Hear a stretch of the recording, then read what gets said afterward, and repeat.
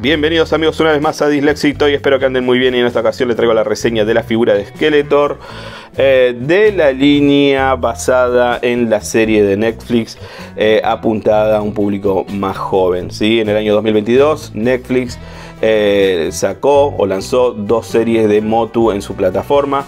Una apuntada al público clásico que sigue a Motu desde los 80 y otra que es esta eh, apuntada a las nuevas generaciones. ¿sí?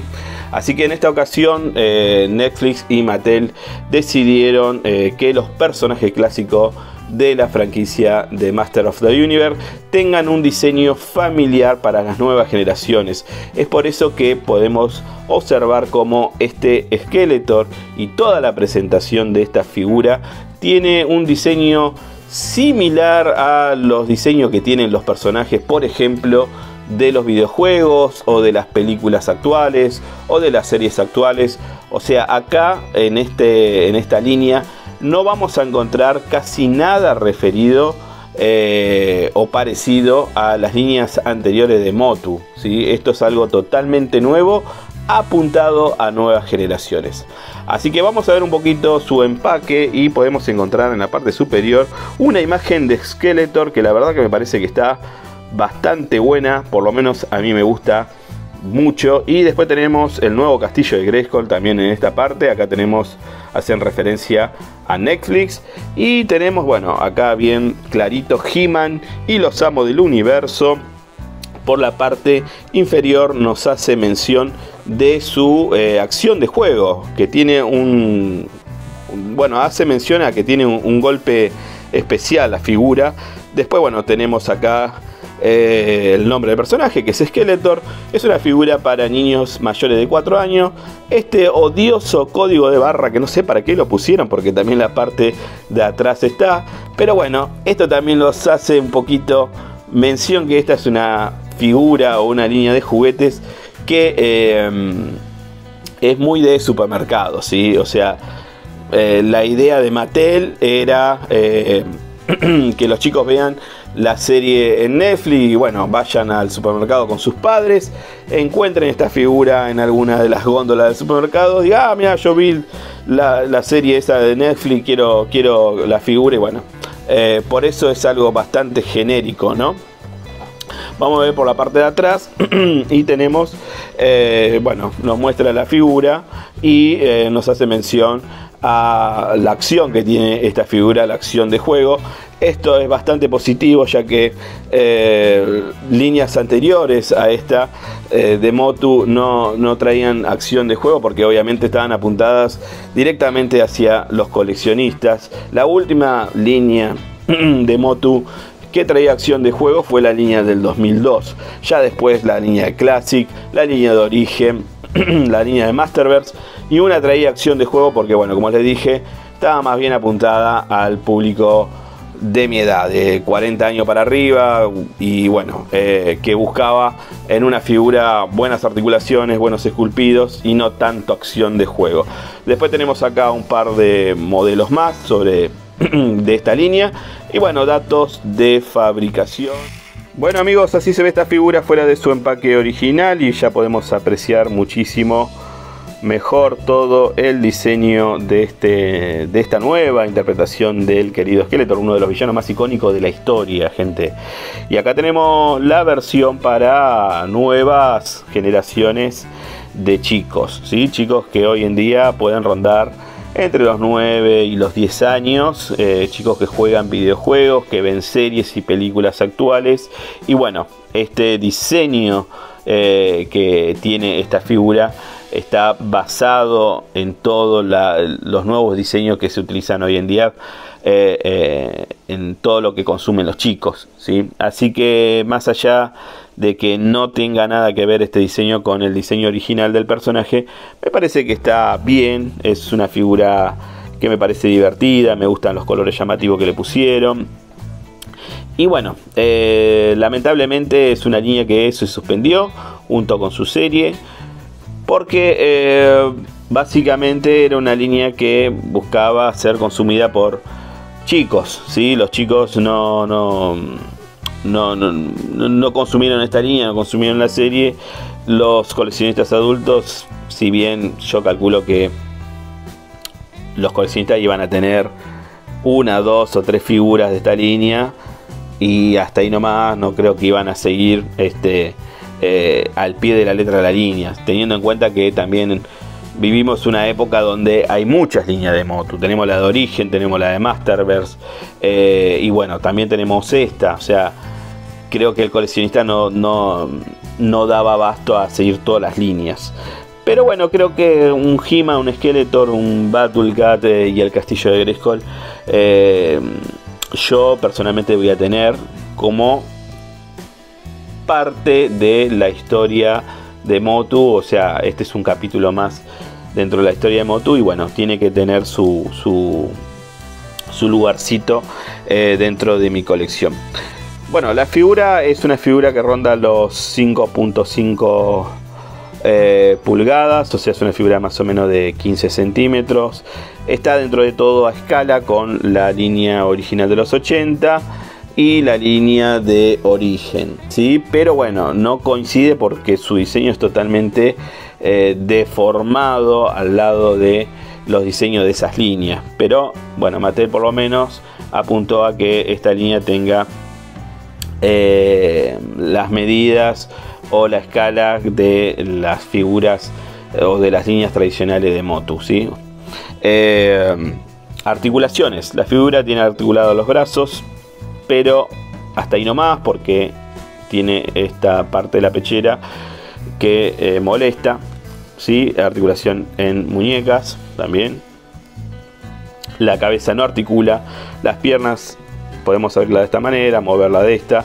Tiene articulación en los pies. Esto, el tapabolas, es de un plástico blando, calculo para poder sentarlo en algún vehículo o en, su pantera también. Eh, por la parte de abajo tiene los famosos agujeritos que sirven también para poder colocar la figura en vehículos, en el playset y todo eso. Eh, y después tenemos el famoso golpe de cintura o la acción de juego, que en esta ocasión no está en lo que sería la cintura, sino en parte de en esta parte del torso, ¿sí? Esto nos da más variedad a la hora de accionarla. Eh, como único accesorio trae su báculo, que está bastante bien. Simple, de un solo color, sin detalle de pintura. Pero lamentablemente por la parte de atrás se ve totalmente asqueroso. Esto las empresas obviamente lo hacen para eh, abaratar costos. Pero bueno, se ve feo, la verdad que se ve feo. Así que nada, de frente se ve muy bien, pero por la parte de atrás se ve eh, muy mal. Con respecto al esculpido, podemos encontrar la cabeza de Skeletor que está bastante bien esculpida, me gusta. ¿sí? Ahí con los huecos de los ojos en negro y los puntitos en rojo que serían las pupilas. Después tenemos acá una pechera que eh, está sobre lo que sería la capucha de Skeletor, que está bastante bien, da toda la vuelta por la espalda. ¿sí? Y después, bueno, este, este nuevo diseño trae un brazo también esquelético, ¿sí? o medio brazo esquelético, que en esta ocasión, si lo podemos ver, tiene cadenas que este, lamentablemente no se notan mucho porque al no estar pintada, al, no tener un, un poco de pintura que haga que contraste con el color del, del antebrazo, bueno, casi no se nota, pero bueno, están esculpidas, ¿sí? Me llama la atención que eh, en esta ocasión a Skeletor le pusieron pantalones. Eh, y bueno, nada, no, no es una gran figura a nivel detalles, a nivel articulaciones. Es una figura que está, eh, como le dije, dirigida a un público nuevo y es una figura que es más que nada un juguete para que los chicos jueguen. Se nota que la, calidad de los materiales es bueno y este, soporta lo que sería eh, el trato de un niño, ¿sí? Pero bueno, después no tiene otros grandes detalles de pintura, pero yo creo que está correcta es una figura que a mí me gusta. Me parece una figura divertida. Eh, y bueno, tampoco es que voy a seguir toda la línea. Pero bueno, sí voy a tener a He-Man, Skeletor, alguna que otra figura más, el castillo de Grayskull. Eh, Battle ponele, me gustó también mucho el príncipe Adam de esta línea. Y listo, igual esta línea ya se canceló, la serie se canceló. Así que nada, eh, tengo que tener algo ¿sí? de esta línea porque pertenece a la historia de Motu. ¿sí? Es un nuevo capítulo de la historia de Motu que se puede llegar a titular. Mattel intenta una vez más captar público nuevo y no lo logra. ¿sí? Y no sé si algún día lo va a poder lograr Mattel. ¿sí? Porque lo ha intentado muchas veces, pero siempre, siempre eh, Motu termina siendo consumido por los seguidores originales que conocieron esta franquicia en la década de los 80. Algunos dicen que les falta una película, ¿sí? una película como tienen por ejemplo la franquicia de Transformer o de las Tortugas Ninja.